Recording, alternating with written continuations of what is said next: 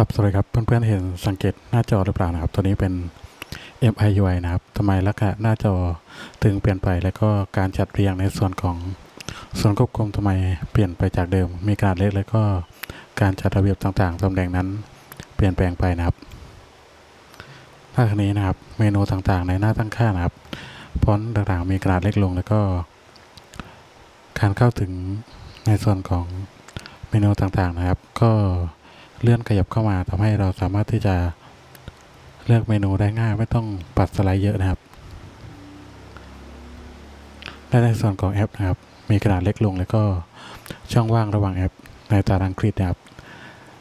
ห่างออกไปนะครับ นี่เกิดจากการปรับ DPI หน้าจอนะครับ ซึ่งปกติก็อยู่ที่ 392 นะครับ เราไปปรับแต่งตั้งค่านะครับ เพื่อให้ใช้งานได้สะดวกนะครับ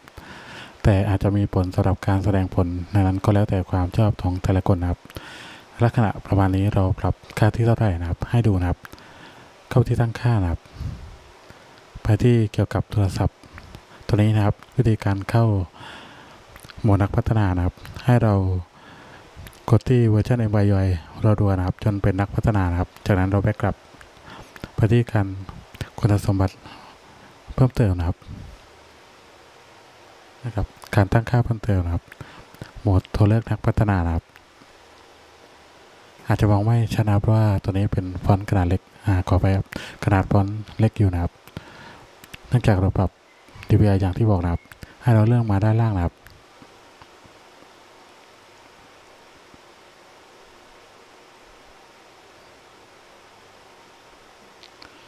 นะครับ ตอนนี้เราปรับอยู่ที่ 640 dp นะครับ ความกว้างที่เล็กที่สุดนะครับ ตัวนี้นะครับ เราแตะเพื่อปรับค่าได้นะครับ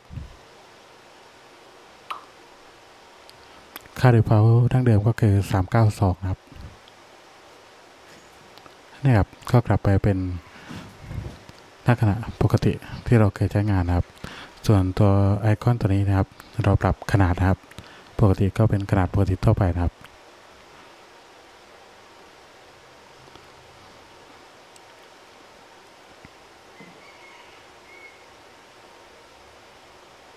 นะครับ ปกติก็เป็นขนาดปกติทั่วไปนะครับ นะครับ อย่างที่เราคุ้นเคยนะครับ นะครับ ฟังก์ชันต่างๆนะครับ จะได้ว่าในส่วนเมนูนะครับ ก็จะเลยกรอบหน้าจอนะครับ อย่างเช่นตัวมีโอมหรือว่าสมาร์ทโฮมตัวนี้นะครับ ปกติหากเราปรับ DPI ให้กว้างตัวเลขยิ่งเยอะนะครับ ก็จะครอบคลุมในหน้าเดียวนะครับ เราไม่ต้องเลื่อนปัดแบบนี้นะครับ ซึ่งก็เป็นจุดเด่น แต่ว่าอาจจะมีผลสำหรับการแสดงผลของแอปอื่นๆ ด้วยนะครับทำให้หลายคนอาจจะไม่นิยมปรับกัน ซึ่งก็แล้วแต่ความชอบหรือสลับในการปรับการใช้งานของแต่ละคนนะครับนี่ครับก็เป็นจุดดีจุดที่น่าสนใจของการปรับตัว DPI นะครับ อย่าลืมค่าดีพาวนะครับ 392 หรือว่าจดไว้ก็ได้เวลาเราปรับเปลี่ยนไปใช้กับเกมหรือว่าแอปอื่นๆ ที่ต้องการการแสดงผลให้เต็มกรอบในหน้าเดียวนะครับ ซึ่งจุดนี้เป็นสิ่งที่น่าสนใจน่าใช้งานนะครับหลายคนอาจจะ ไม่ได้สนใจในการปรับขนาดตัวนี้นะครับ